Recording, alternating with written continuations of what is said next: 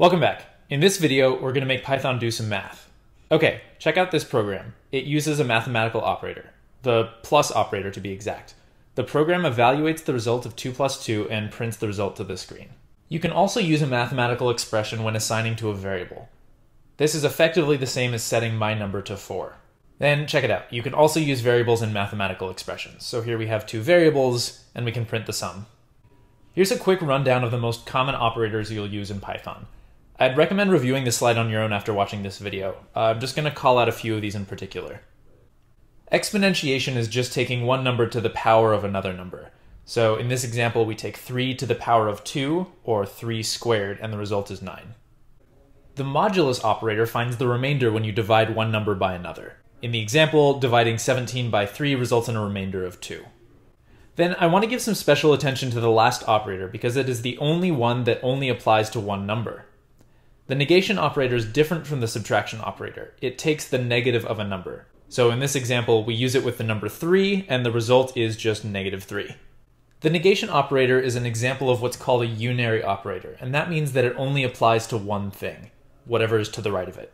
Most of the operators occur between two things, a left side and a right side, and these are called binary operators.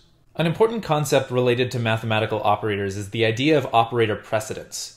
This is a set of rules that determines when different pieces of an expression get evaluated. You might remember this as PEMDAS from algebra. Uh, we didn't discuss parentheses as an operator, but it's important to know that everything in parentheses is evaluated first, then exponentiation expressions are evaluated, then negation expressions, then multiplication, integer division, and modulus expressions are all evaluated from left to right.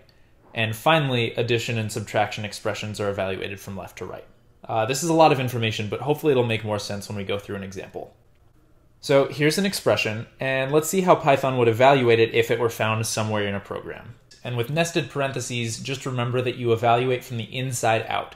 So the first expression that we evaluate is in the middle there, 3 minus 2 times 2.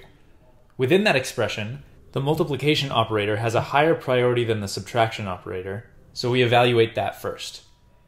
Then we evaluate 3 minus 4, then we're left with a simple addition expression in parentheses, so we evaluate that. And finally, we're left with a simple exponentiation expression. And the final result is 25. Note that even though exponentiation had higher priority than multiplication, addition, or subtraction, because of the way the parentheses were arranged, it was the last operator to be evaluated. Just a quick note on floats, and that's that operators work more or less the same way on floats as they do with integers.